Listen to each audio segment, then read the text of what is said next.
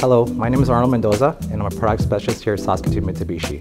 And today I'll be showing you this Mitsubishi Outlander PHEV, which delivers the best of both worlds. With a combination of gasoline and electric power, you have the freedom to go anywhere. The PHEV allows you to power up at home or on the go. First by a standard 120 volt household outlet, which a full charge in about 8 hours, and I can just show you right here.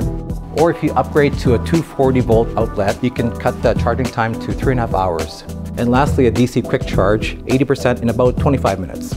So there's three ways you can drive the PHEV. The first is EV mode, strictly battery, series hybrid, which is battery with the help of the engine, and parallel hybrid, strictly engine power with the help of the electric motors.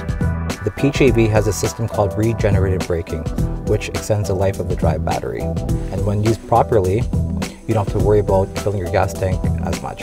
Another cool feature on the PHEV is actually you can preheat and pre-cool your vehicle through the system itself or through an app on the phone which can be easily downloaded.